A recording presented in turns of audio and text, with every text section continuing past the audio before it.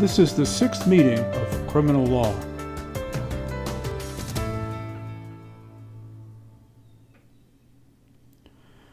Let's turn to another classic case Regina versus Prince. Prince is charged with the crime of taking an underage, unmarried girl away from her father's care without his permission. He appealed from his conviction. On the appeal, the defendant wanted to raise as a defense his sincere belief that the victim was above the statutory age. The jury had found this belief to be reasonable. The appellate court, as the trial court had, demands to know so what? Prince appeared to be asking the court to read language into the statute that would require the Crown to prove that he knew the victim was under the age of 16. These words are not there. And the question is whether we are bound to construe the statute as though they were, on account of the rule that the mens rea is necessary to make an act a crime. Whosoever shall unlawfully take any unmarried girl, being under the age of sixteen years, out of the possession and against the will of any person having the lawful care or charge of her, shall be guilty of a misdemeanor. Culpability language is absent. We don't see the word maliciously as we did in Cunningham and Faulkner. The adverb unlawfully is not a term of culpability. The word unlawfully simply means unless some other law to the contrary is controlling. Prince's appeal turns on one particular clause of the statute, which says under the age of 16 years. This does not refer directly to any act by the accused, nor to any result brought about by his conduct. It is a type of element that the Model Penal Code terms an attendant circumstance. The issue in Prince comes down to this. Should the statute be read in such a way that the prosecution must show that the defendant was culpable as to the attendant circumstance that the girl was under 16? Here's another way to look at the case. First, let's collect the separable elements we find in the statute. The prosecution has to show that the accused took the prosecution has to show that what the accused took was a girl, not a boy, not a horse. The prosecution has to show that the accused took an unmarried girl. In Victorian times, this conduct could only be approved by the consent of the father or other guardian. Reflecting this attitude, the statute requires the prosecution to show that the accused took an unmarried girl out of a guardian's care without proper consent.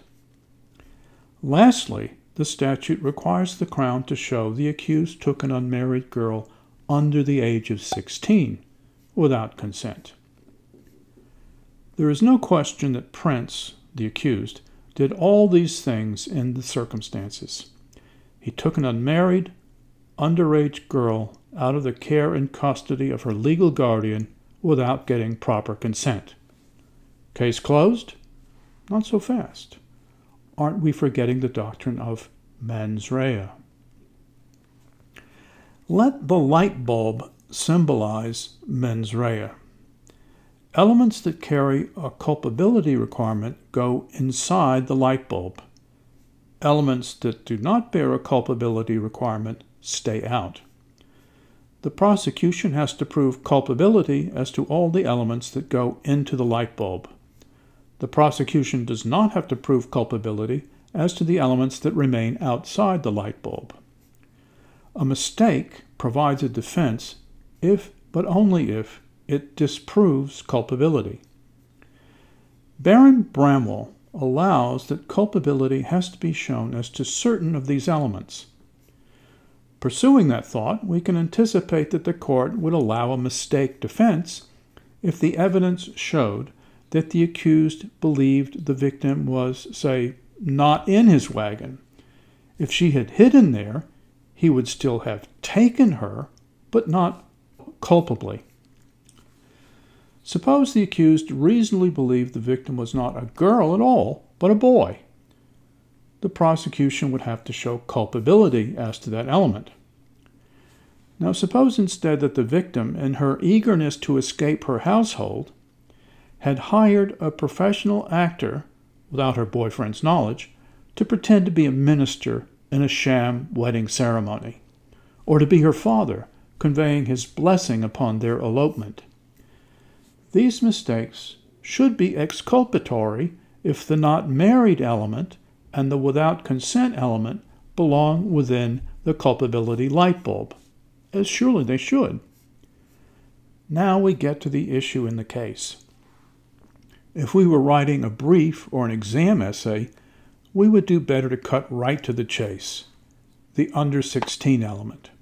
Does it go in or stay outside? How are we to tell? Baron Bramwell's majority opinion keeps it out, but how can he tell? If you or I had been in Prince's situation, how could we have told prior to acting?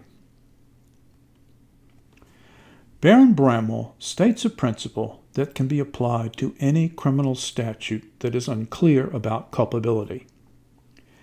If what the defendant knew he was doing is immoral, mistake about other elements cannot exculpate. Judge Brett dissents. Judge Brett agrees that there is a principle involved, but he states it differently. In Judge Brett's view, if what the defendant knew he was doing is criminal, mistake about other elements cannot exculpate. Except for one single solitary word, the two principles are identical.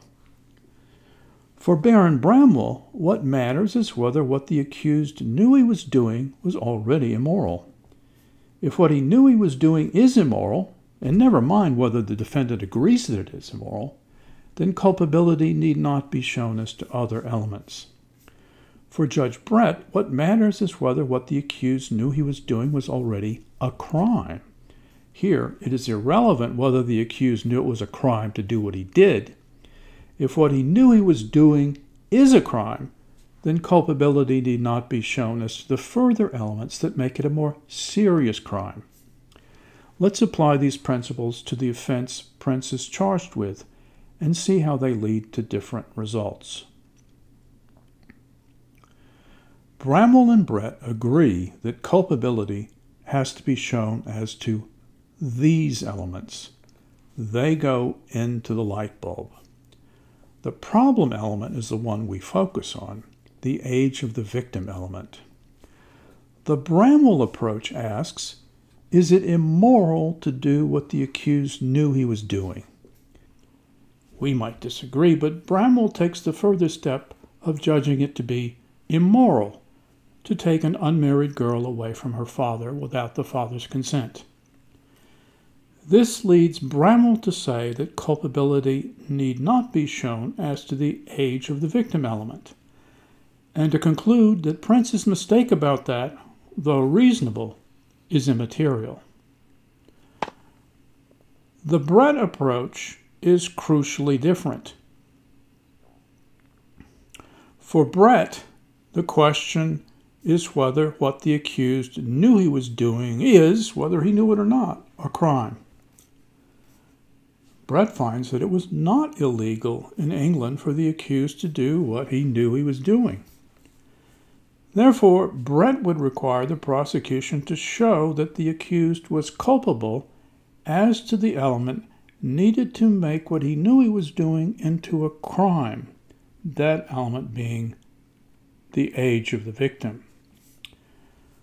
Those are the clashing principles in the Prince case. We have to ask can either the Bramwell or the Brett approach work in general? In our next installment, we will search for an answer.